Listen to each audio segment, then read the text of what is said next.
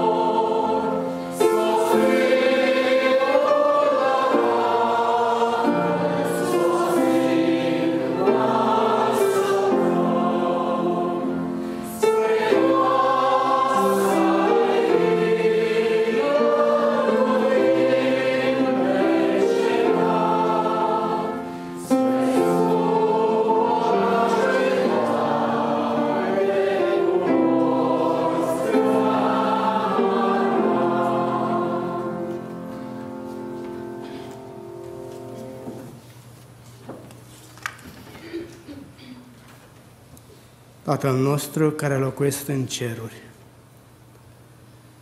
Venim înaintea Ta, Doamne, în momentele acestea de seară să ne închinăm și să-ți mulțumim pentru că încă o săptămână Tu ai vegheat asupra noastră și în seara aceasta ai invitat copiii Tăi, poporul Tău să vină și să se întâlnească cu Tine în locul acesta. Potrivit cu făgăduința Ta, avem încredere că Tu ești prezent prin Duhul Tău cel Sfânt în această seară. De aceea îți mulțumim pentru faptul că nu suntem singuri în locul acesta, ci Tu ești prezent, neașteptat și dorești să ne vorbești în această seară.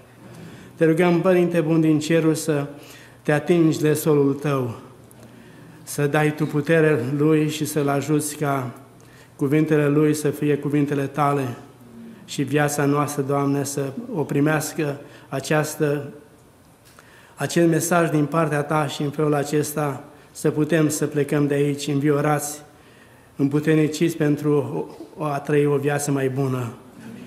Părinte din Cerul, te rugăm și pentru cei care n-au putut să aibă ocazie să fie cu noi în această seară, Binecuvântează pe fiecare acolo unde este El. Fă Tu, Doamne, ca sabatul acesta să fie împlinirea făgăduințelor Tale cu poporul Tău. Îți mulțumim pentru chemarea pe care ne-ai făcut-o, dorim să, să ne bucurăm de ea și voia Ta să împlinească în fiecare dintre noi. Lăuda să fii, Tată bun, primete Domnul Iisus de acum și până în veci. Amin. Amin.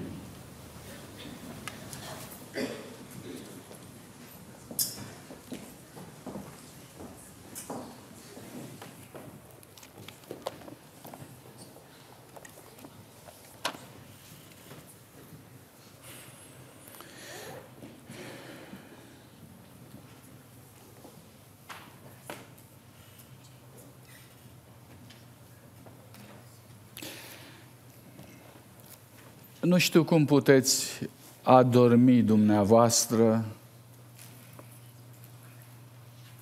fără ca sufletul să se încarce sau să ni se încarce de cuvântul lui Dumnezeu. Știți, e seară, e târziu, semnele de oboseală sunt puternice, dar rămâne aceeași întrebare. Putem vreodată să ne retragem în odăița noastră fără ca mai înainte să fi trecut pe acolo pe unde Dumnezeu ne spune și ne vorbește frumos, prețuindu-ne viața, alergarea și de asemenea dându-ne odihna Lui. Putem să nu trecem pe acolo? Așa văd eu serviciul divin de vineri seara. Ca un moment în care îl căutăm pe Dumnezeu înainte de a coborâ în sufletul nostru și în odihna pe care El ne-o dă.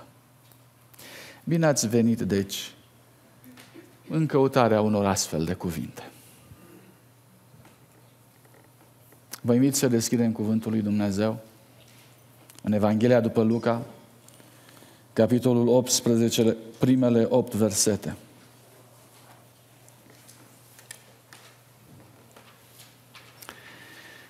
Iisus le-a spus o pildă ca să le arate că trebuie să se roage necurmat și să nu se lase. El a zis, într-o cetate, era un judecător care de Dumnezeu nu se temea și de oameni nu se rușina. În cetatea aceea era și o văduvă care venea des la el și zicea, fă dreptate și mie în cearta cu părâșul meu. Multă vreme n-a voit să-i facă dreptate. Dar în urmă și-a zis, măcar că de Dumnezeu nu mă tem și de oameni nu mă rușinez. Totuși, pentru, că văduva aceasta, pentru că văduva aceasta mă tot necăjește, îi voi face dreptate ca să nu tot vină să-mi bată capul.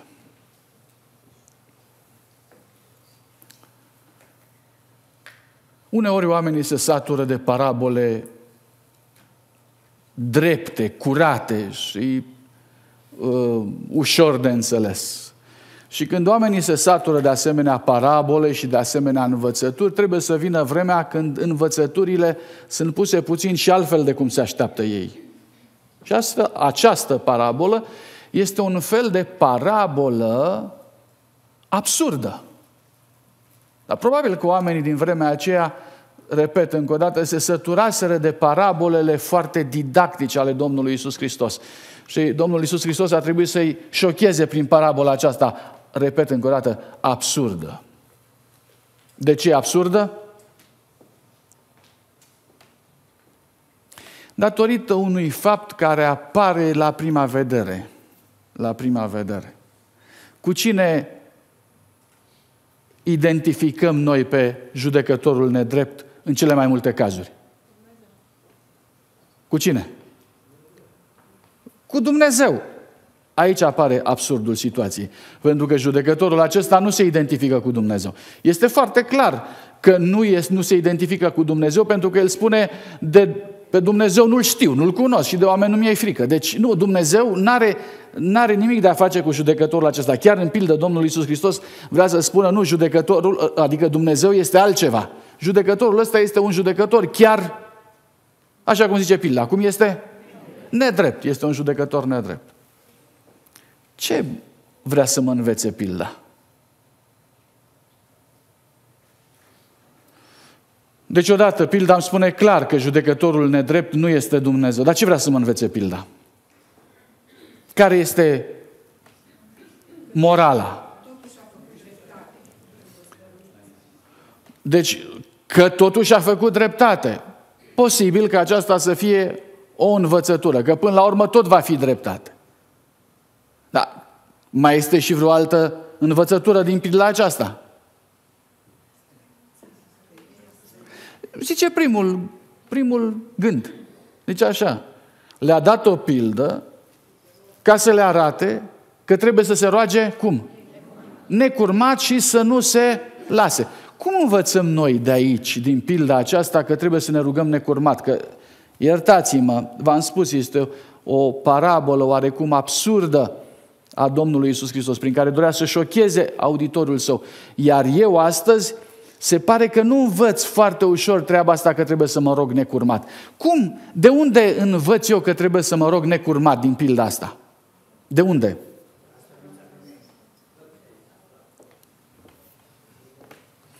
Haideți să trecem la concret. Am o povară pe inimă și mă rog o zi, două, trei, un an. După un an ce se întâmplă? Poftiți?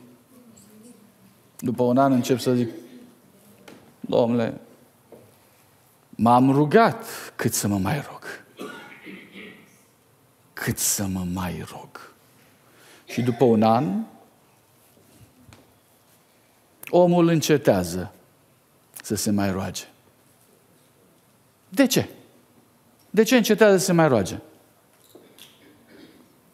Manu, dacă te-aș întreba pe tine mi-ai prins gândul? Da, nu te întreb.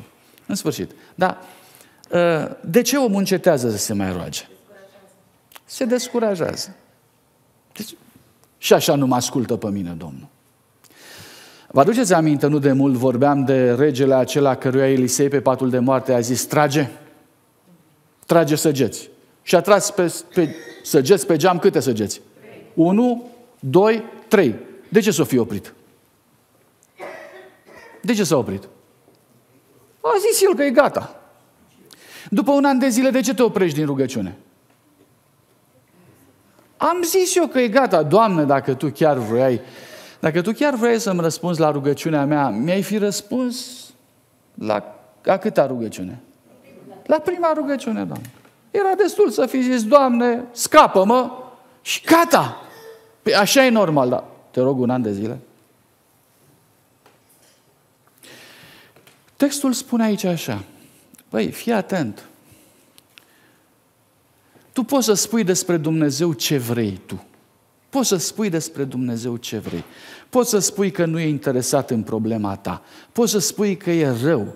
Poți să spui că te-a uitat. Poți să spui orice. Orice poți să spui despre Dumnezeu. Dar datoria ta este să te rogi. Atât. Asta este ceea ce trebuie să învăț eu, Valentin Dăneață, din pilda asta. Tu poți să spui orice despre Dumnezeu, deși Dumnezeu nu e așa. Dar tu poți să spui orice. Și fraților, cam așa se întâmplă. După ce te rogi o săptămână, două, trei, o lună, două, trei, încep să spui, Doamne, dar nu mă auzi? Deci, cu alte cuvinte, Doamne, m-ai uitat, Doamne, nu vrei să mă auzi, Doamne, dar ce se întâmplă? Pe, pe Petru, când s-a cufundat în apă și a zis, Doamne, scapă-mă, l-ai prins de prima dată, dar pe mine, că te rog de un an de zile, pe mine de ce nu mă asculți? Și încep să spui, Doamne, cum ești părtit? Eu n-am, pe mine nu mă iubești? Păi și dacă încep să-i spui Domnului că nu te iubește, atunci ce spui despre Dumnezeu? Ce fel de Dumnezeu e? Da, spuneți-mi mie, Ilie, de ce a trebuit să se roage de șapte ori? De ce Domnul Iisus Hristos l-a pus pe Ilie în situația văduvei stăruitoare? Și odată, într-o după amiază, pentru un singur lucru, Ilie a trebuit să se roage în același timp de câte ori? Șapte ori. De ce? De ce? Și Domnul Iisus Hristos, aici în pilda asta, spune așa, datoria ta ca om este să te rogi. Și acum întrebarea este, dar de ce e datoria mea asta? Încă o dată, revenind Nouă ni se pare că nu-i datoria noastră să ne rugăm. Datoria noastră este să venim eventual să ascultăm predică, datoria noastră este să eventual să venim la biserică cu darurile noastre, datoria noastră este să nu călcăm o poruncă sau alta, dar nu am sesizat că datoria noastră este să ne rugăm. Nu, chestia asta nu ne intră nou în socoteală. Foarte bine. Atunci întrebarea apare, Doamne, de ce trebuie noi să ne rugăm? și să nu ne lăsăm. De ce e datoria noastră așa? De ce asta e datoria noastră? Și datoria noastră numărul unu. Sunt atâtea exemple în Sfânta Scriptură în legătură cu treaba asta. Domnul Iisus Hristos care le spune ucenicilor, vegheați și rugați-vă, să nu cădeți în ispită. Un ceas n-ați putut să vegheați împreună cu mine. Ca și cum datoria lor ar fi fost să se roage. Este datoria noastră să ne rugăm? Este datoria noastră să ne rugăm necurmat? Necurmat? Întrebarea e, de ce, Doamne? Și acum, partea a doua. Domnul Iisus a adăugat, versetul 6. Auziți ce zice judecătorul nedrept? Și Dumnezeu nu va face dreptate El aleșilor Lui care strigă zi și noapte către El, măcar că zăbovește față de ei? Vă spun că le va face dreptate în curând, dar când va veni Fiul omului, va găsi El credință pe pământ și aici apare, apare, dacă vreți, partea cea mai importantă, despre care aș dori să studiem, aș dori să ne rugăm, aș dori să ne luptăm pentru partea aceasta.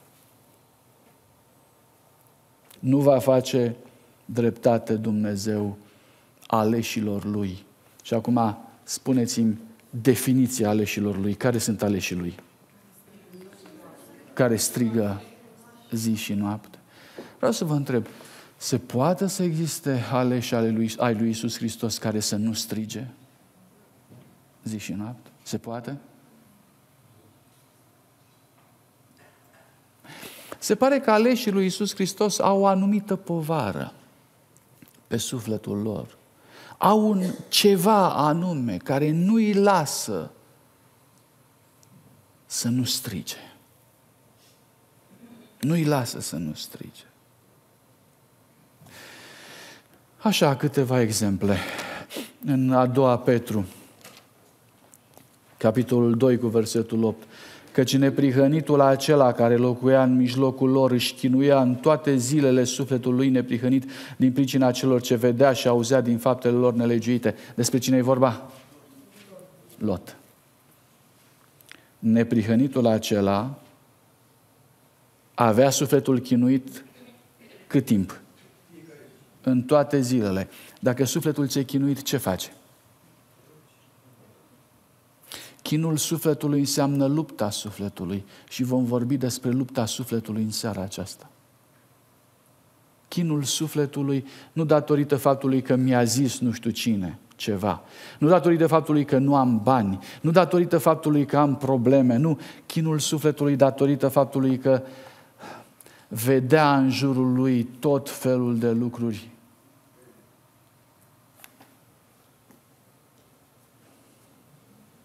Noi astăzi parcă ne-am obișnuit cu ele, parcă ne e dor de ele, vrem să le mai vedem și la televizor, nu că ne ajunge că le vedem de jur împrejur. Ezechiel. Ezechiel. Știți, Știți neapărat versetul acesta, nu sunt versete noi. Le-am luat pe cele mai cunoscute expre pentru ca să le putem repede analiza. Ezechiel, capitolul 9.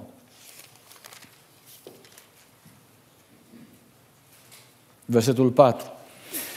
Treci prin mijlocul cetății, prin mijlocul Ierusalimului și fă un semn pe fruntea oamenilor. Fă un semn adică ce?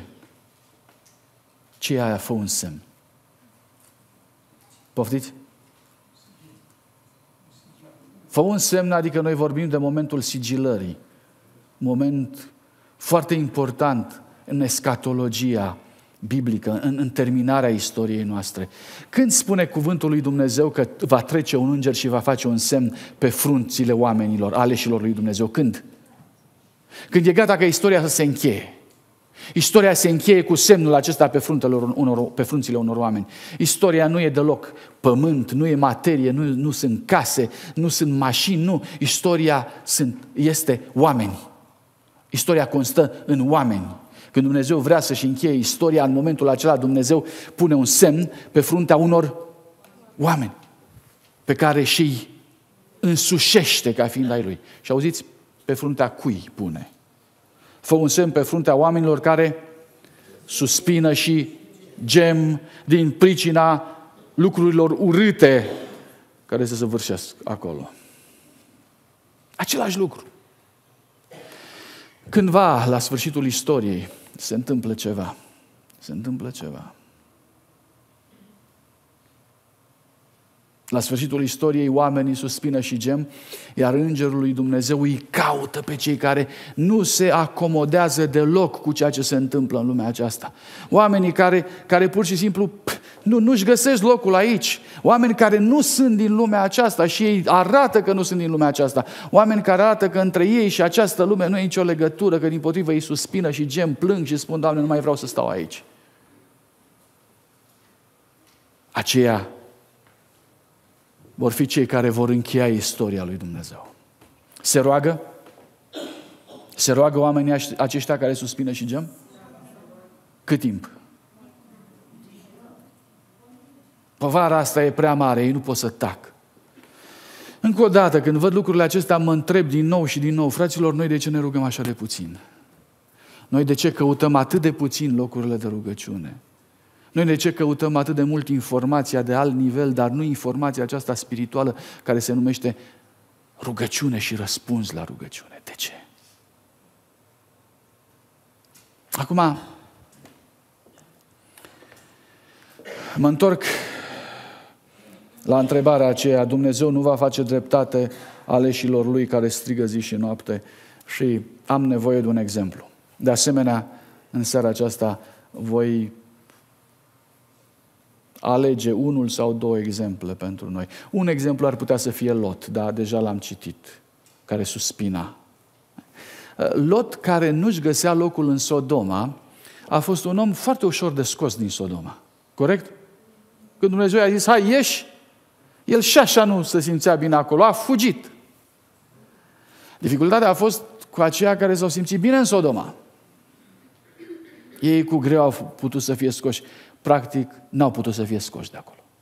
În mod practic, da? Soția lui Lot s-a oprit pe drum într-un stâlp de sare, iar fetele lui Lot au constituit un eșec în planul de mântuire. Sesizați puțin aspectul acesta. E important să suspini și să gemi. E important. E important să te rogi. Mai mult decât orice, e important să te rogi. Fraților, de ce sentimentul acesta, de ce sentimentul acesta sau nevoia aceasta de să te rogi necurmat? De ce? Un exemplu la care vreau să vă gândiți este Iacob.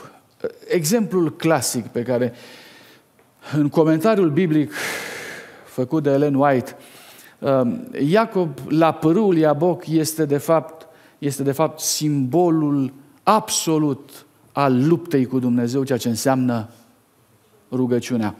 Um, se spune cât de puțini cunosc sau știu lucrul acesta ce înseamnă să te lupți cu Dumnezeu în rugăciune. Aș vrea să înțelegem că aici despre asta este vorba. În Luca 18 cu versetul 7 nu va face dreptate aleșilor lui care strigă zi și noapte către el. Nu este vorba de o discuție foarte calmă. Ei strigă. Ei strigă către Dumnezeu. Este o luptă cu Dumnezeu. În, dacă vreți, în Apocalips, capitolul 6 cu 10, ni se spune că sub altar erau sufletele acelora care li se tăiase capul din pricina mărturiei lui Isus Hristos și sângele lor striga către Dumnezeu. Strigătul de aici reprezintă, reprezintă o traumă, reprezintă niște oameni care se simt apăsați de situația în care sunt, care nu mai suportă situația în care sunt și care strigă către Dumnezeu ca să intervină pentru că situația a devenit cum? Insuportabilă. Asta este ideea. Asta este ideea. Ne este greu să înțelegem lucrul acesta doar atunci când cineva folosește cuvinte. Din cauza asta am dorit să mă opresc asupra momentului aceluia când Iacob se luptă cu Dumnezeu. Uh, încă o dată, lupta lui Dumnezeu cu Iacob este parabola sau este simbolul rugăciunii. Viața lui Iacob, o știți. O viață plină de probleme, plină de dificultăți. S-a luptat cu Dumnezeu, cu oamenii, a plecat de acasă, a fugit uh, de acasă, s-a dus în altă parte, a ajuns acolo să muncească pentru fiecare leu în fiecare zi, a reușit să-și realizeze o afacere și, eu știu, bogăție din bogățiile socrului său. Socrul său și-a văzut averea înjumătățită în felul acesta, probabil că și noaptea se gândea că averea asta ar fi fost a mea dacă n-ar fi fost Iacob. Ea, ea pune lângă averea mea și averea lui Iacob. Vezi cu cât, de mam, cu cât ar fi fost mai mare. Și uh, problemele acestea creau tensiuni între ei până când Iacob a hotărât uh, să fugă fără să bage de seamă Naaman, uh, Laban, mulțumesc, să fugă de acolo. Uh, Laban vine după el. Îl urmărește. Când să se întoarcă acasă, de acasă vine Esau în întâmpinarea lui. Și punctul acela numit Iaboc este punctul în care Iacob ajunge între două fronturi. Din spate îl urmărește la ban, din față îl urmărește Esau, el între. Nu mai putea să scape. Locul unde Iacob nu mai poate să scape este locul rugăciunii lui. Acolo. Iacob ajunge la concluzia că singura lui scăpare e rugăciunea. Asta era situația lui. Asta era situația lui. Nu putea să mai scape. Și în momentul acela aleargă la rugăciune. Ce se întâmplă acolo? Nu pot să vă descriu eu cu cuvintele mele. Am ales să vă descriu cu cuvinte inspirate. Acolo, momentul acela. Pentru cei ce nu cunosc evenimentul, este vorba de Geneza, dați-mi voie să dau trimiterea doar și după aceea ne vom întoarce aici. Geneza, capitolul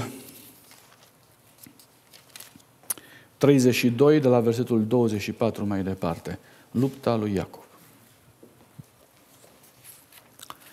Citesc din Cartea Patriarhi și Profeți, la pagina 196 în ediția română, cuvinte care mie mi se par de aur, extraordinar.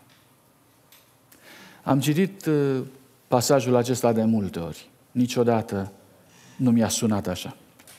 Sper să vă sune și dumneavoastră cu totul deosebit.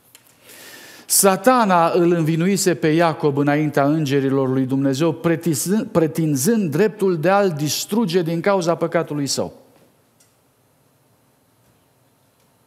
Deci, nu era vorba doar de o încercare pe din afară de a-l distruge pe Iacob. Încercările de din afară, adică Laban și Esau, erau doar, doar instrumente ale planului pe care Satan îl avea deja. Satan dorea să-l distrugă pe Iacob datorită cărui lucru? Datorită păcatului său. El l-a influențat pe Esau să pornească împotriva lui. Și în timpul lungii nopți de luptă a patriarhului, satana s-a străduit să abată asupra lui un simțământ de vinovăție teribilă. Era întuneric acolo, în jurul lui Iacob. Satan se lupta să îi aducă dovezi ale faptului că nu mai poate să fie iertat. Și aceasta pentru a-l descuraja și a-l face să nu se mai încreadă în Dumnezeu, cu alte cuvinte să nu se mai roage. De ori de câte ori Dumnezeu vine în viața ta și în viața mea, cu gândul să nu te mai rogi, Este o luptă pe viață și pe moarte în care Satan vrea să te distrugă și să înceteze singura șansă de a rămâne în viață, să înceteze rugăciunea. Când în deznădejdea lui Iacov s-a prins puternic de îngeri și s-a rugat cu lacrimi, solul ceresc pentru a-i pune la probă credința, i-a reamintit și el de păcatul său. I-a amintit odată cine? Prima dată cine? Satana. Apoi i-a amintit și îngerul.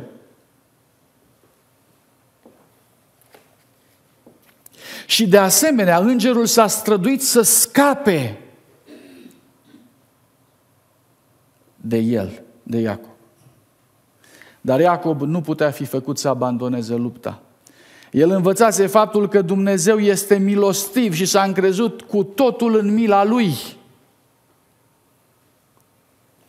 El a arătat înapoi la pocăința de păcatul său și a cerut eliberarea de vina sa. Revizuindu-și viața, el ajunsese aproape la disperare.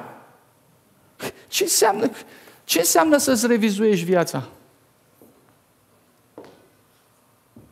Înseamnă să vezi păcatele tale. Neprihănirea ta? Nu. Păcatele tale.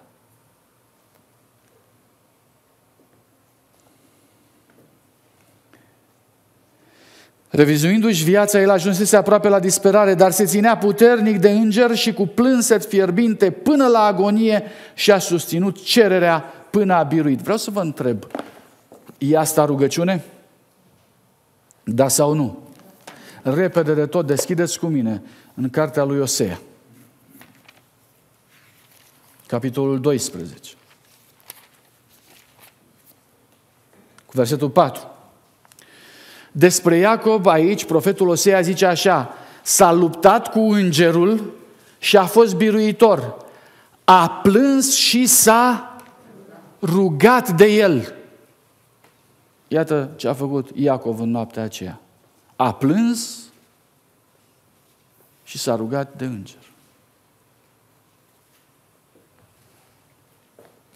Iacov l-a întâlnit la Betel și acolo ne-a vorbit Dumnezeu. E frumoasă definiția asta. A vorbit Dumnezeu cum? Când? În rugăciune. Acolo ne-a vorbit Dumnezeu în rugăciune.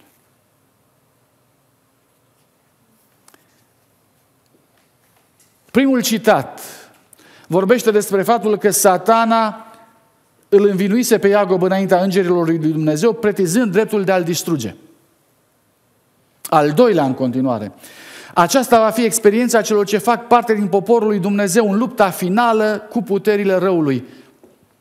Lupta când? Finală. Uh, textul pe care l-am citit înainte din Ezechiel, capitolul 4, cu verset, 9, cu versetul 4, spunea când se va întâmpla lucrul ăsta. Suspină și gem când? Când îngerul va trece pentru ca să pună ce? Sigilul pe fruntea lor. În timpul sigilării se va întâmpla lucrul acesta. Este o experiență specifică pentru poporul lui Dumnezeu. Dumnezeu va pune la probă credința, statornicia, încrederea lor în puterea sa de a-i scăpa. Satana se va strădui să înfricoșeze la gândul că ei sunt niște cazuri fără nicio speranță, că păcatele lor sunt prea grave care, ca să poată fi iertate. Ei vor avea un simțământ profund al nedesăvârșirii lor și revizuindu-și viața în nădejdea lor se va prăbuși. Noi nu ne putem revizui viața în nădejde dacă vom găsi. Primele lucruri care ne, care ne urmăresc sunt căderile noastre, eșecurile noastre. Ar trebui să ne obișnuim de acum, fraților, să vedem iertarea și nu eșecurile noastre. Să vedem îndreptățirea lui Isus Hristos și nu căderea noastră. Pentru că de asta vom avea nevoie. Iisus Hristos ne spune că ne iartă și ne curățește. Aruncă păcatul nostru să nu-l mai uite nimeni. Va trebui să-l uităm și noi.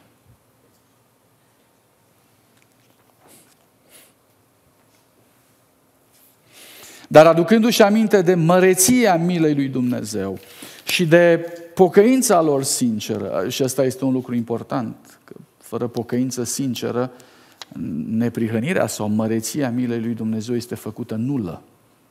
Măreția milei lui Dumnezeu funcționează în momentul în care Iacov se pocăiește.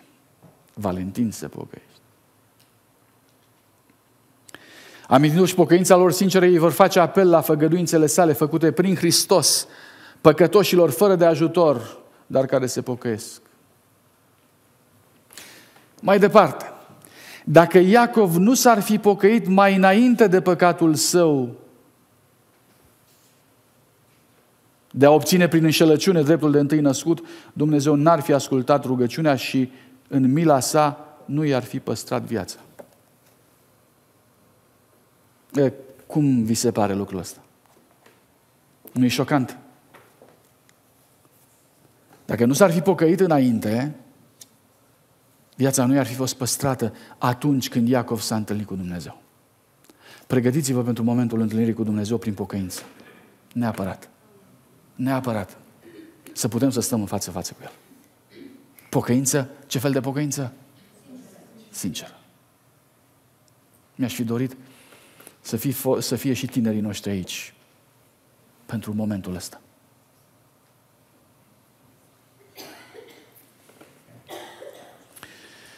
Tot astfel, în timpul strâmtorării, dacă cei din poporul lui Dumnezeu vor avea păcate nemărturisite care să le vină în minte în, ce, în timp ce sunt torturați de teamă și chin, ei for, vor fi atunci înfrânți, disperarea va zdrobi credința și nu vor mai avea încredere să stăruiască înaintea lui Dumnezeu pentru eliberare de vinovăția lor. Există capcane ale conștiinței. Satan dorește să rămână păcate nemărturisite și neiertate pe care să avem impresia că le putem trece cu vederea. Și în momentul acela să le scoată în evidență puternic de tot pentru a zdrobi orice încredere în Dumnezeu. Nu lăsați nimic în afara pocăinței. Nimic. Nici cel mai mic lucru. Ne va lovi. Ne va lovi în momentul acela critic, final. Satana îi face pe mulți să creadă că Dumnezeu va trece cu vederea necredincioșia lor în problemele mărunte ale vieții, dar în felul, dar în felul în care s-a comportat Iacov, Domnul ne arată că nici de cum el nu poate îngădui sau tolera păcatul. Cu cât este mai aprinsă mărturisirea lor, cu cât este mai onorată poziția pe care o dețin, cu atât este mai urâtă purtarea lor înaintea lui Dumnezeu și cu atât mai sigur este triumful marelui vrăjmaș asupra lor. Totuși, istoria vieții lui Iacov este asigurarea faptului că Dumnezeu nu îi va lepăda pe aceia care au fost duși în păcat, dar care s-au întors la el cu adevărată pocăință. Nu îi va lepăda. Și acum vreau să să citesc încă o dată. În toată nevrednicia și neajutorarea noastră, noi trebuie să ne încredem în meritele Mântuitorului crucificat și înălțat. Nimeni nu va pieri dacă face astfel. Nimeni. Ăsta e scopul rugăciunii. Rugăciunea este preluarea vieților, vieții noastre, dar pusă în lumina milei glorioase a Domnului Isus Hristos și a sacrificiului Său pentru că acolo și atunci să căpătăm un sens nou al vieții. Nimeni nu va pieri dacă face astfel. Lista cea lungă și neagră a nelegiuirilor noastre stă înaintea ochiului celui infinit. Le știe pe toate. Nu chipui încă nu le știe. Le știe. Consemnarea lor este completă, niciunul dintre păcatele noastre nu este uitat. Dar acela care a ascultat strigătele slujitorului său din vechime va auzi și rugăciunea credinței și va ierta păcatele noastre. El a făgăduit lucrul acesta și își va împlini cuvântul său. Vă rog să-mi spuneți, de ce e nevoie să stăruim în rugăciune?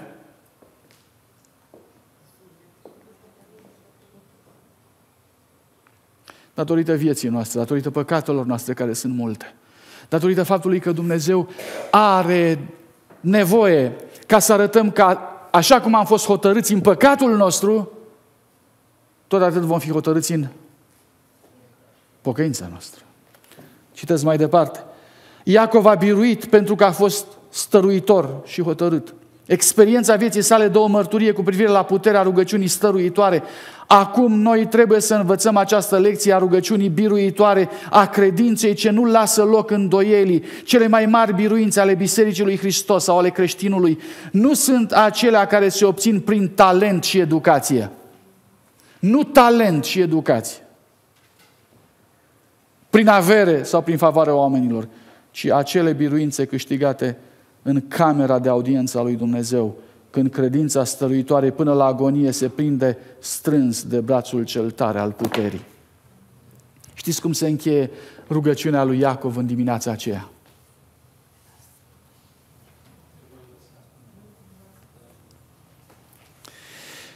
Versetul 30 din Geneza, capitolul 32. Iacov a pus locului acelui numele Peniel, adică fața lui Dumnezeu. Căci a zis el, am văzut pe Dumnezeu față în față. Ăsta este rezultatul unei rugăciuni luptătoare cu Dumnezeu. Rugăciunea în care omul sau creștinul luptă cu Dumnezeu este acea rugăciune în care creștinul luptă până când? Până când? Până biruie, mulțumesc. Până când? Cât trăiește, mulțumesc. Până când? Poftiți, zice stare. Până vede fața lui Dumnezeu. Asta, pentru asta luptăm, fraților, nu pentru altceva. Nu luptăm pentru una, pentru alta, pentru că avem îndoi, probabil că sunt și îndoieli, dar nu pentru că judecătorul acela din ceruri nu vrea să ne răspundă, ci luptăm pentru ca să vedem fața lui Dumnezeu. Iar lucrul acesta merită, merită toată implicația și investiția noastră. Să vedem fața lui Dumnezeu.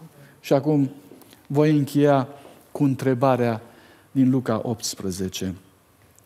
Și Dumnezeu nu va face dreptate aleșilor lui, care strigă zi și noapte către el, care e dreptatea lui Dumnezeu? Îi va face să vadă fața lui. Va veni ziua aceea. Va veni, fără îndoială măcar că El zăbovește față de ei, vă întreb încă o dată, de ce zăbovește?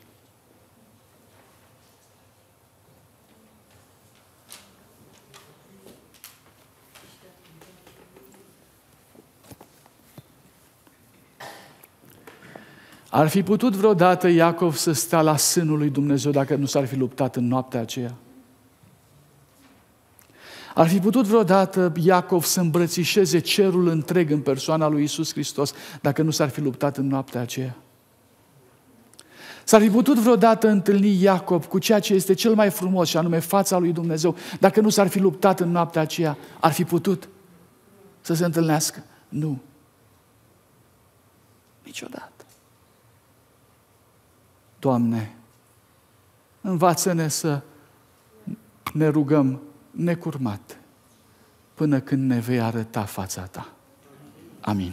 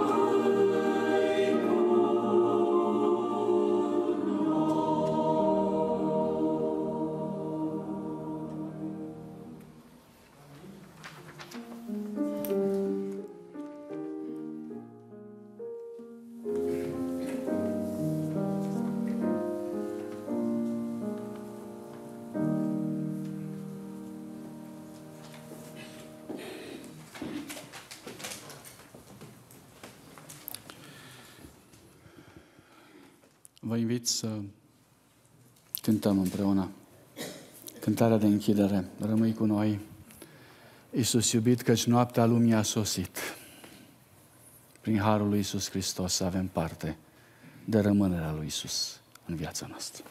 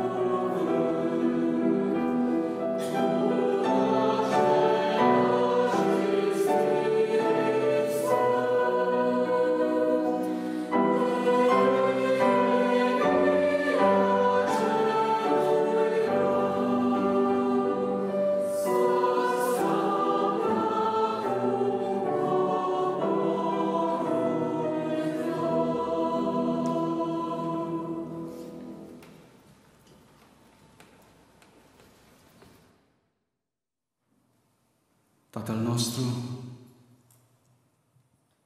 în numele scump al Domnului Isus, venim înaintea Ta să te rugăm să torni în noi dragoste și Duhul Tău cel Sfânt, pentru ca să putem să rămânem și să stăruim în legătura noastră cu Tine. Dă-ne, Doamne, putere să strigăm Dă-ne o motivație specifică și serioasă pentru zilele acestea, să ne luptăm în credință, în sufletul nostru și cu viețile noastre împreună cu Tine până când Tu vei birui în viața noastră. Ajută-ne să înțelegem că ne aflăm sub pecetea sigilării, când Tu cauți oameni care să se integreze mai bine în cer decât în lumea aceasta. Fă din noi astfel de oameni. Ajută-ne să ne fie teamă de păcat, să ne fie teamă de rămânere aici. Ajută-ne să dorim cerul Tău cu toată inima. Părinte, ne-ai învățat să strigăm zi și noapte către Tine și dacă cumva zăbovești, ajută-ne să știm că ne vei face dreptate în curând. Arată-ne fața ta. Binecuvintează-ne cu prezența ta. Învață-ne să iubim rugăciunea ca fiind momentul în care tu te descoperi fiecăruia dintre noi. Ajută-ne să dăm buzna la momentele acestea de luptă cu tine și ajută-ne să învățăm să biruim cu tine împotriva noastră. Rămâi în seara asta cu noi și fă din această seară o seară a mijlocirii, din sabatul acesta, o seară, Doamne, a rămânerii cu Tine. Un timp al biruinței, al iertării, al acceptării în prezența Ta și a rămânerii împreună cu Tine. Mângâie-ne sufletul și ajută-ne să plecăm fericiți în numele Domnului Isus. Amin. Amin.